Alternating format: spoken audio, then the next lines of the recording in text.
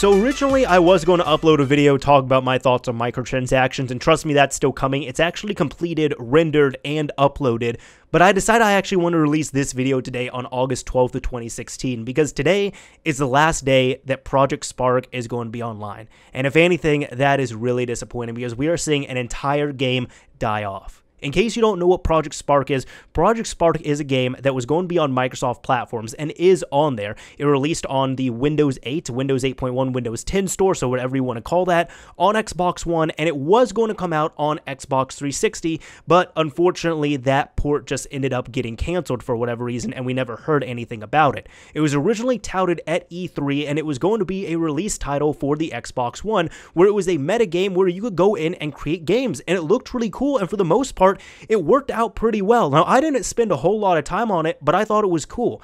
And I think that was most people's story with it, unfortunately. They probably didn't even know about it because it didn't get the most press. It also did not come out on launch, so it ended up getting delayed. And when it came out, I remember it didn't make as big of a splash as I thought it would have, but it was this open game where you could get it for free, you could play it, and then you could end up buying stuff and you could share games that you made on there. There were some really interesting things. For example, there was a fan-made Conker game. There's also a other game that is RT, which was pretty much a spin on Konami's PT, except on Project Spark and on the Xbox One, and when you beat it, you end up finding out that it was actually a teaser for the Conker game that was going to be coming out, which we ended up playing that. And apparently the developer who also made that ended up releasing a game this week as well too. Now, if you have Project Spark, you can still play. If you have the games downloaded that you download through Project Spark, you can still play them. But unfortunately, the servers will go offline, so after the servers are taken offline, you can no longer download the fan-made projects or anything that was on there. And even even in a last ditch effort to try and get more people on before they made this announcement months ago, they even made everything free. So this used to be a game where you could buy stuff on there and it was optional, but they made all the content free. And this is disappointing on so many levels. One, this is an entire game that is dying off because it was solely a digital game on that aspect. And this is one reason why I absolutely hate this digital exclusivity sometimes because stuff like this happens. Now that Project Spark is dead, what if there are people that discover this game in two years and see it's really cool, but they can't access the servers and see any of this stuff? If my Xbox One dies and I don't have the games or any of the saves backed up, that's it. I can't play them anymore. And we really don't don't have a proper way of archiving this. We've seen this with countless other games as well too for different reasons, one of them being Scott Pilgrim vs. the World, which is an excellent game on the Xbox 360 and PS3, but if you're looking it up right now, you cannot download it or purchase it through legitimate means because something happened with the licensing and it only released digitally, meaning that the only way you could download it now is either by an illegal mean and modifying your system to play that pirated copy, or by having an account that already has it purchased and re-downloading it through there, or again, also finding a console or having console that already has it downloaded to it. And how many other MMOs and mostly online reliant games have we seen that have gone offline completely because of things like this, because the community was dwindling and because nothing else was going on. And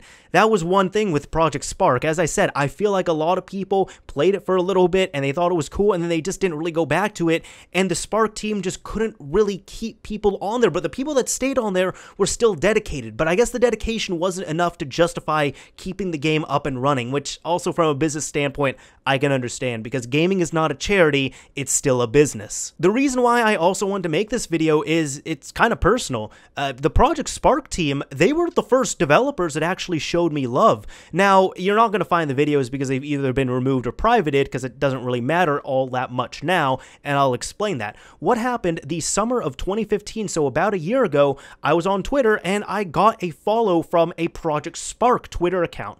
And it didn't have a official verified tweak and it was like Proj Spark, so it wasn't even the full name. So I was like, wait a minute, is this real? And I looked at it and it seemed legit. So I decided to follow it back. And shortly after following it back, I ended up getting some DMs in my Twitter account and we had some exchanges. What happened was they said that they saw my YouTube channel and they ended up really enjoying the content they saw on there. And they asked me if they could send me some codes for the Conker DLC DLC they had at the time while it was still paid so that I could give them away to my subscribers. And my first thought was, wait, are, are you guys serious? Really? You're, you're giving these to me? And they said, you know what? We're, we're giving you the codes. Yeah, you can give them away to your subscribers or you can give them away to friends or you can do whatever you want to with them. It doesn't matter to us. We would just like to give you these codes. Would you accept that? And I said, absolutely, I would accept that. And what ended up happening was I got 20 codes. Now, five of them were for the premium content and the other 15 were for just like the regular Conker content. And what I did to prevent any disparity, I ended up giving the five pieces of, you know, the Conker premium DLC to my girlfriend at the time and four other friends of mine. And the other 15 I ended up giving away on the channel. Now, of course, what ended up happening shortly after that, you know, I gave away the codes and all that stuff, and it was a really awesome gesture, you know, on their part to give them to me, but they ended up making all the content free, so then that didn't matter as much because anyone could enjoy that Conker content, but it was what happened that was just so memorable to me. It was cool to see these developers reach out to me, and I even asked them what you all liked about my channel, and they said, we liked your modding stuff, we liked how you presented that news, and it was just, it was so touching to hear that, honestly, and I know I'm going on about myself for a few minutes, but hey, this is how I was personally involved with them, and it was really cool to see this, you know, just talking to these developers, and they were the official guys too with the at Microsoft accounts and everything. They were even so cool that when I ended up giving away the codes, one of my subscribers emailed me back and he said, hey,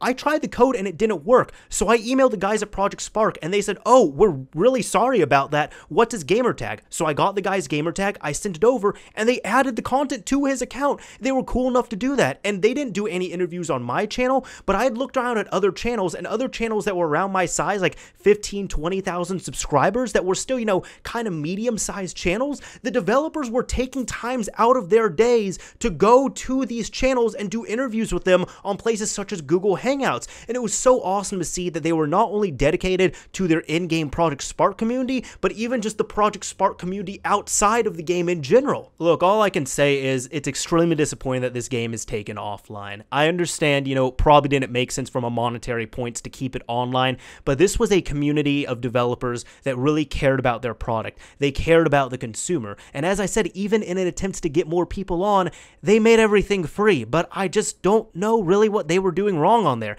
In fact, I think there's a lot of people here that because of the lack of advertisement of the game, this might be their first time hearing about Project Spark, and if it is, I'm sorry, like the game might be offline, so you might not even be able to try it by the time you hear this. But again, this just goes to show that games that are reliant on online services can be taken away from you at any time, and that is why I hate some of those games. Even Blizzard, for example, and other big companies are really guilty of this. Now, is Blizzard going to go out of business anytime soon?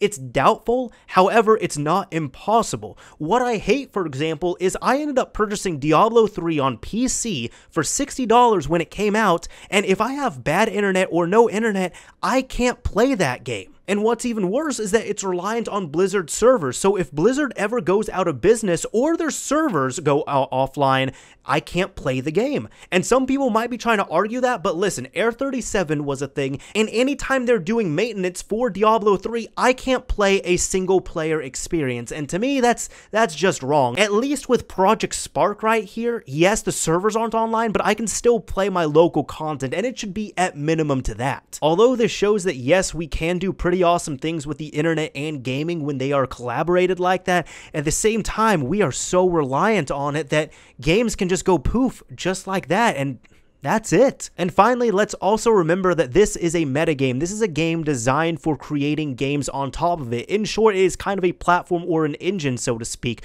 So that means all the people that spent all that time making those Project Spark games that got a ton of likes and plays and views, those are going to be gone those are going to live on through people's hard drives and accounts, and that's it. They're going to be taken off the servers, and that's even more disappointing because then that's an entire community where all their work is lost. Anyways, if this is your first time hearing about Project Spark or you tried it before or you had some good or bad times with it, let me know and drop those experiences down below in the comment section. If you enjoyed the video, I'd recommend liking the video because that would show some appreciation. But if you didn't like it at all and you hated Project Spark, I guess you can dislike it as well too.